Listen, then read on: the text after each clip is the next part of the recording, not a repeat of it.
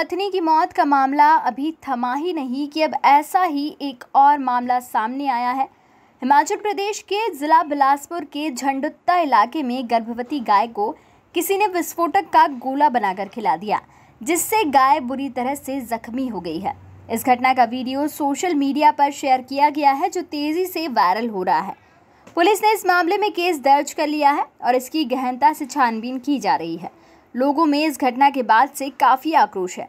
इससे पहले केरल के मलमपुरम में एक गर्भवती हथनी को शरारती तत्वों ने अनानास में पटाखे भरकर खिला दिया था, जिससे उसका मुँह और जबड़ा बुरी तरीके से जख्मी हो गया था।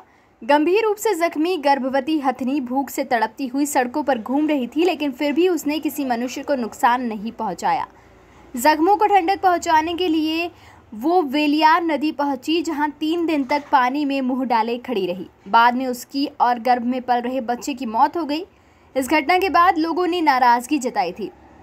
इस मामले पर खुद पर्यावरण मंत्रालय ने संज्ञान लिया है और एक शख्स की गिरफ्तारी भी हुई है और ये मामला अभी ठंडा भी नहीं हुआ था और एक और मामला सामने आ गया है, जहाँ गर्भवती गाय को किसी ने विस्फोटक भरा पदार्थ खिला दिया है, जिससे गाय बुरी तरीके से जख्मी हो गई है subscribe our channel and press the bell icon for more updates.